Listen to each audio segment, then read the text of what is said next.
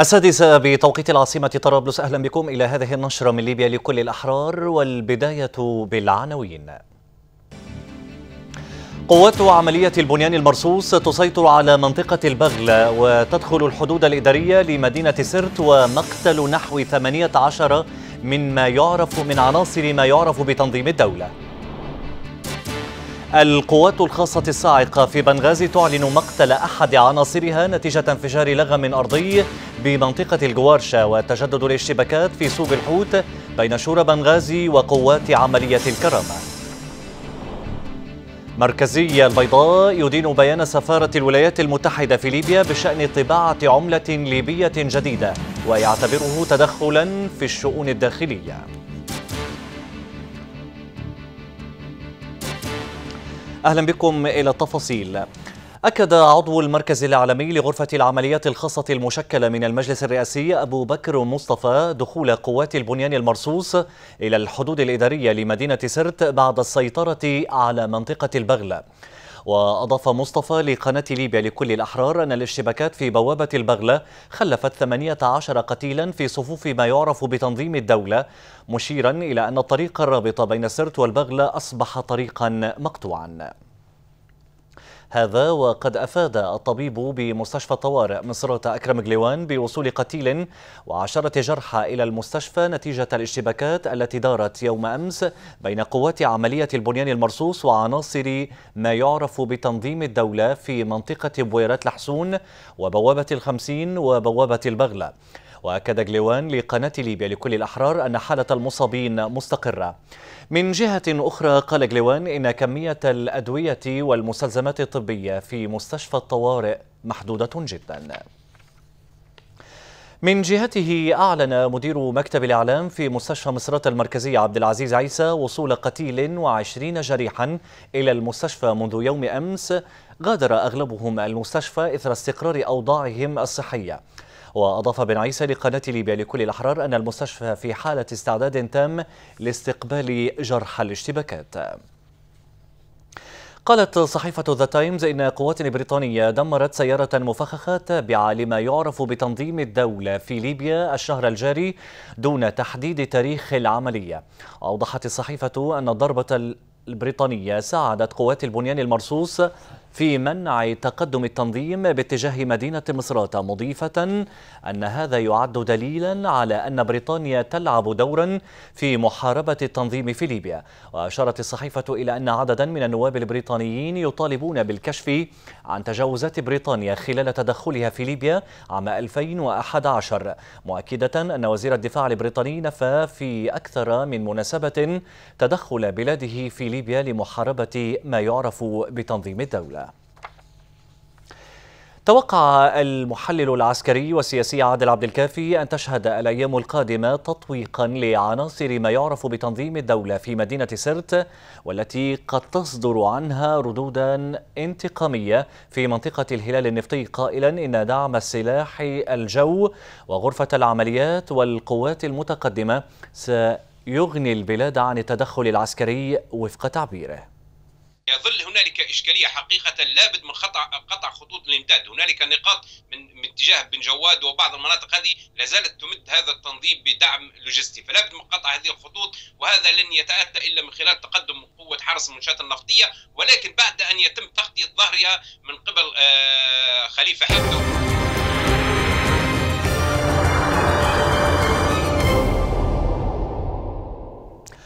إلى مدينة بنغازي حيث أفاد الناطق باسم القوات الخاصة الصاعقة هناك ميلوت الزوي بمقتل أحد عناصر القوات الخاصة في سرية الشرطة والحماية نتيجة انفجار لغم أرضي عند قيام قواتهم بتمشيط منطقة الجوارشة. أوضح الزوي لقناة ليبيا لكل الأحرار أن المعارك العنيفة ما زالت مستمرة لليوم الثالث على التوالي ضد قوات مجلس شورى بنغازي. من جهته أكد مصدر من مجلس شورى بنغازي فضل عدم الكشف عن هويته وقوع اشتباكات في منطقة سوق الحوت بعد صد ل بعد صد محاولة تقدم لقوات عملية الكرامة. وأفاد المصدر نفسه لقناة ليبيا لكل الأحرار بأن طائرات استطلاع تحوم في سماء المدينة حسب قوله.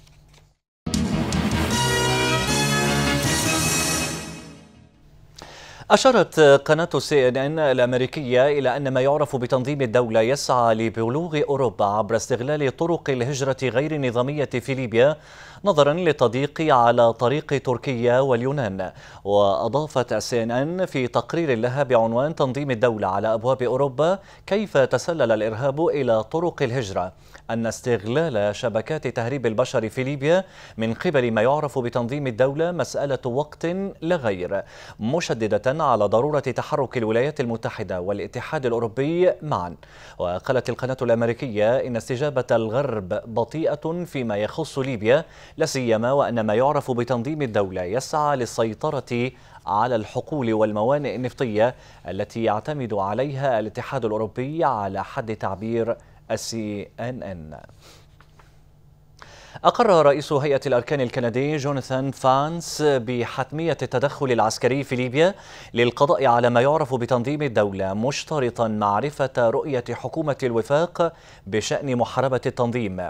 وقال فانس في تصريح لشبكة السي بي سي الأمريكية إن حكومة الوفاق هي المعني الأول والأخير بمسألة محاربة التنظيم مشيرا إلى وجوب قيامها بمزيد من الجهود لتوحيد القوات المحاربة للتنظيم.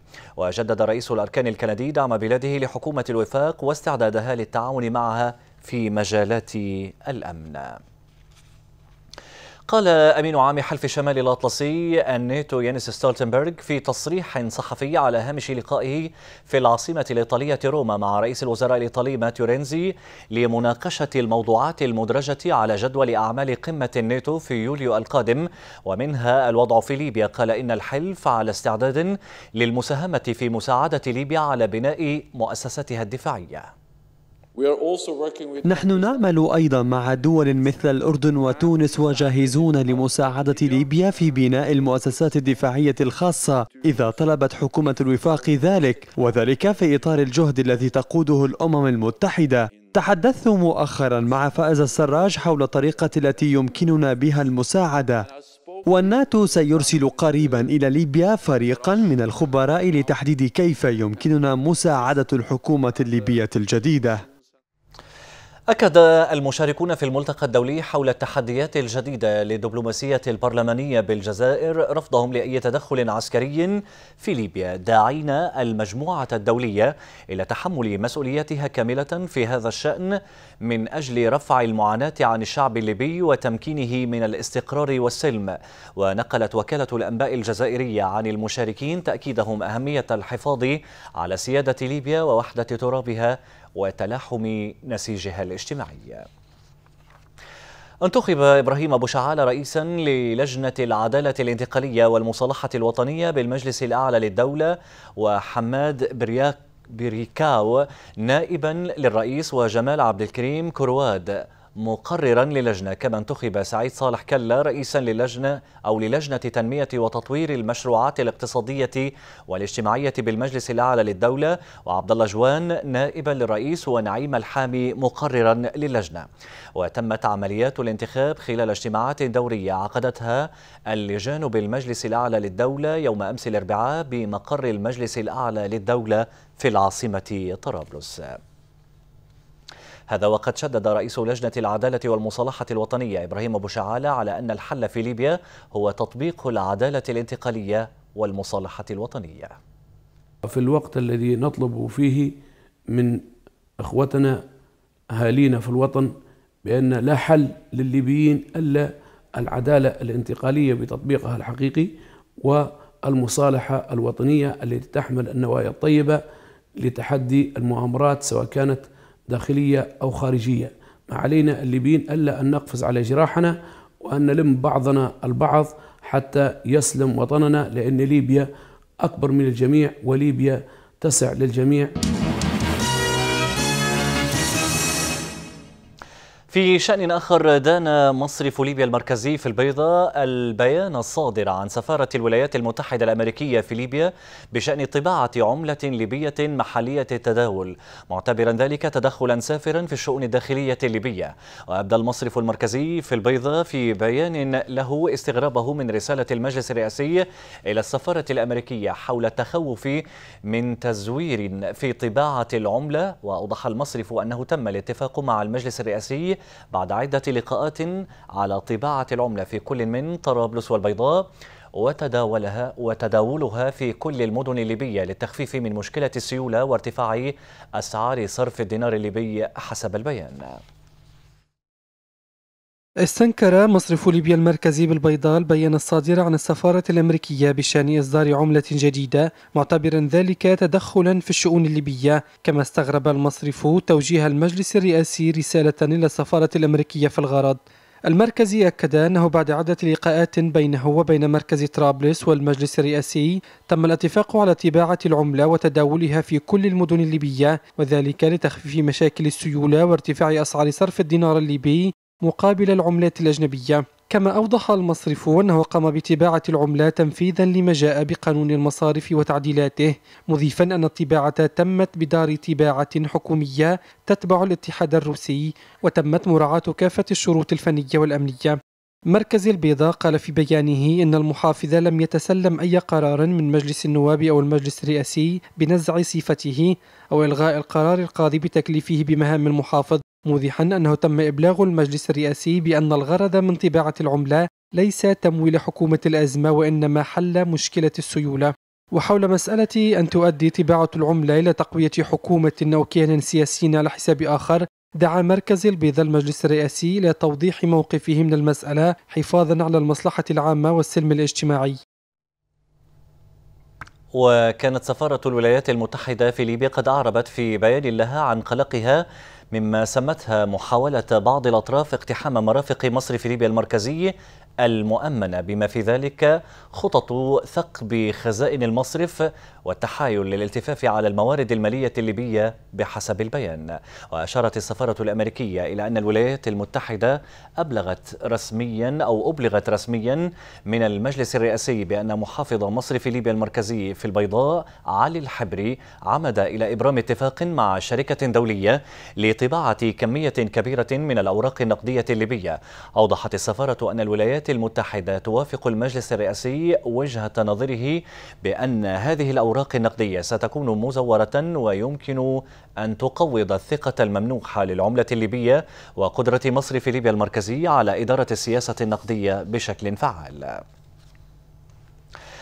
شدد المبعوث الأمريكي إلى ليبيا جوناثان وينر على ضرورة التنسيق والتشاور بين المجلس الرئاسي لحكومة الوفاق الوطني ومصر في ليبيا المركزي لتوفير السيولة المالية في كافة ربوع البلاد.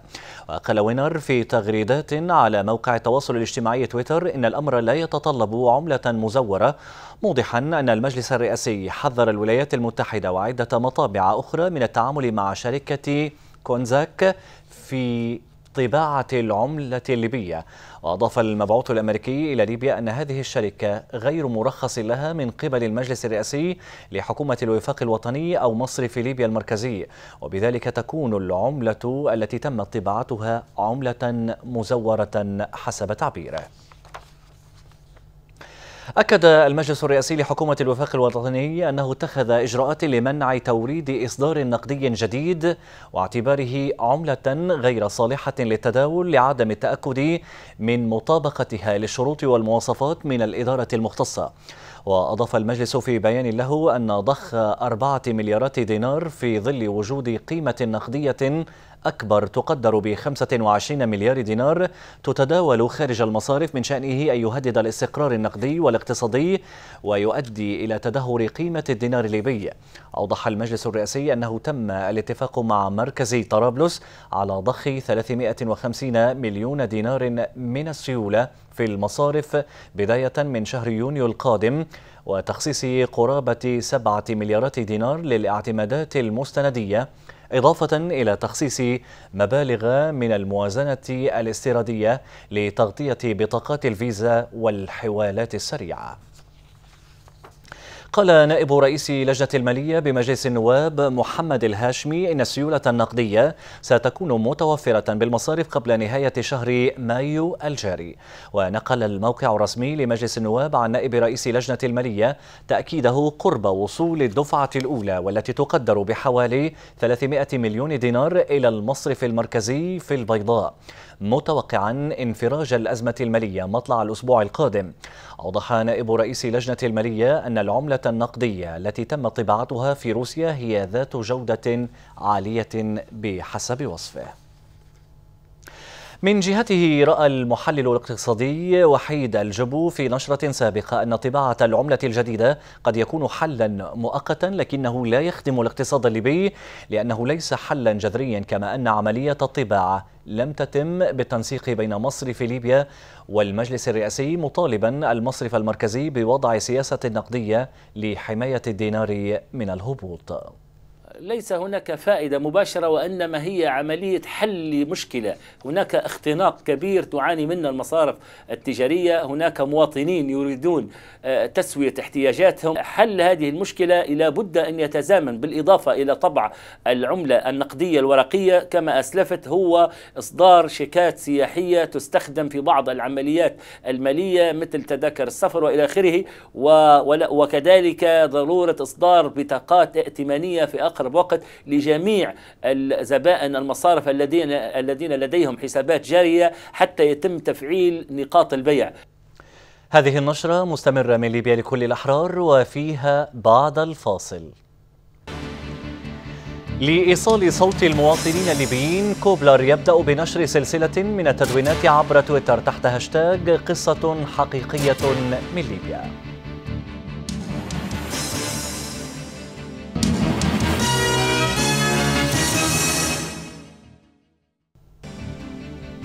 قوات عملية البنيان المرصوص تسيطر على منطقة البغلة وتدخل الحدود الإدارية لمدينة سرت ومقتل نحو 18 من عناصر ما يعرف بتنظيم الدولة.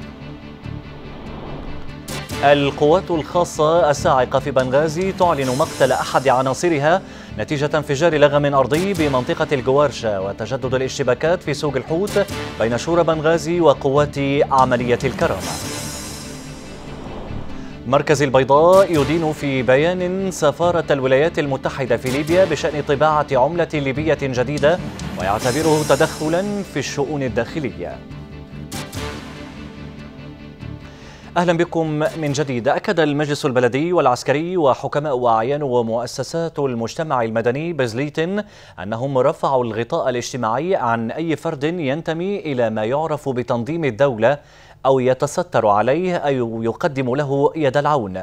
مشيرين في بيان مشترك لهم إلى أن كافة الجهات الأمنية والعسكرية في المدينة لن تتهاون في الضرب بيد من حديد على كل من يحاول المساس بالنسيج الاجتماعي أو زعزعة الاستقرار في المدينة. ودعا البيان سكان زليت ومالكي المنازل المؤجرة إلى عدم التستر أو مساعدة من يشتبه في انتمائه إلى تنظيم إرهابي حسب البيان. أفاد مدير مكتب الإعلام بقوة الرادع الخاصة أحمد بن سالم بأن القوة قبضت على عدد من عناصر ما يعرف بتنظيم الدولة الذين خططوا لتفجير مركز شرطة زليتن أضاف بن سالم لقناة ليبيا لكل الأحرار أن قوة الردع الخاصة ألقت القبضة على ثلاثة إخوة على ثلاثة إخوة ليبيين متورطين في التخطيط والإعداد لتفجير زليتن موضحا أن الرأس المدبر للعملية لا يزال طليقا حسب قوله.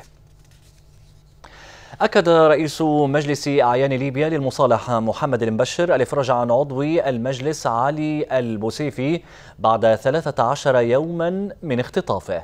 أوضح المبشر أنه لم تتضح إلى الآن أسباب اختطاف البوسيفي ولا الجهة المسؤولة عن, عن العملية. ونوه رئيس مجلس أعيان ليبيا للمصالحة إلى أن البوسيفي لم يرفع أي شكوى قضائية ضد من اختطفه معللا ذلك بأن هدفهم داخل مجلس الأعيان هو المحافظة على الرابطة الاجتماعية وليس الانتقام على حد قوله. استقبل مطار الكفرة طائرة أو طائرة شحن قادمة من مطار معيتيجا تحمل شحنة أدوية مقدمة من الإمداد الطبي طرابلس وقطع غيار مستوردة خاصة بالمحطة الغازية الكفرة وقال مدير الخدمات الصحية الكفرة إسماعيل العيضة إن شحنة الأدوية هي عبارة عن أدوية السكري والضغط والأمراض النفسية ومحاليل وموارد طبية خاصة بمرضى الكلى بالإضافة إلى محاليل خاصة بإجراء التحاليل الطبية. من جانبه أوضح مدير المحطة الغازية الكفر حسين محجوب أن المحطة استلمت قطع غيار مستوردة من إيطاليا لغرض صيانة الوحدة الأولى وتشغيلها بعد تعطلها خلال الفترة الماضية. تم اليوم الحمد لله وصول طائرة شحن من طرابلس مطار العتيقة مزودة بأدوية للخدمات الصحية والمستشفى الكفر العام. وكانت الحقيقة بجهود مخلصين وتم الأدوية متنوعة في مستلزمات طبية وبعض الأدوية النفسية. تم استلام آه، قطع غيار تشغيلية بمحطة الكفرة الغازية واللي يخص الوحدة الأولى وباقي قطع غيار استكمال آه، عمرة الوحدة الأولى. في شأن آخر وصلت مساء أمس إلى مدينة درنا باخرة لنقل الزيوت الثقيلة وذلك لتزويد محطة الكهرباء في المدينة.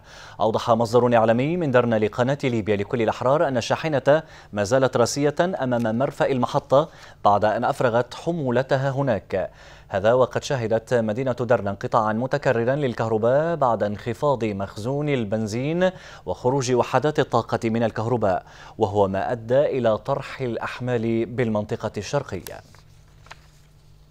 قال الناطق باسم مديرية الأمن الوطني بالزاوية نبيل بوزواي إن خفر السواحل بالزاوية أنقذ 300 مهاجر غير نظامي انقلب قاربهم عند مشارف شواطئ الزاوية. في سياق آخر أفاد أبو زواي بأن مديرية الأمن الوطني بالزاوية ستناقش في اجتماع سيعقد اليوم نقص الإمكانيات بمستشفى المدينة وتعليق الهلال الأحمر الليبي فرع الزاوية لعمله مضيفا أن الاجتماع سيتناول أيضا ما وصفه بغياب الدعم الدولي للتعامل مع مسألة الهجرة غير النظامية. أكد قائد عملية صوفيا الإميرال أنريكو كريدين ديو أن الانطلاق في عملية تدريب خفر السواحل الليبي في المياه الدولية يقتصر على إقرار الاتحاد الأوروبي لذلك. وأضاف كريدين ديو أن عملية التدريب تتطلب ما بين ثلاثة إلى أربعة أشهر. ستتمكن بعدها قوات خفر السواحل الليبية من العمل بشكل مستقل وهو ما سيترتب عنه الانتقال إلى المرحلة التالية من عملية يونافور ميد وشدد كريدينديو نيدينيو على ضرورة استصدار قرار أممي وتوفير المزيد من الموارد لكي يتسنى لقوة الاتحاد الأوروبي أن تتدخل بشكل مباشر في ليبيا أو تفرض حظر سلاح حسب قوله.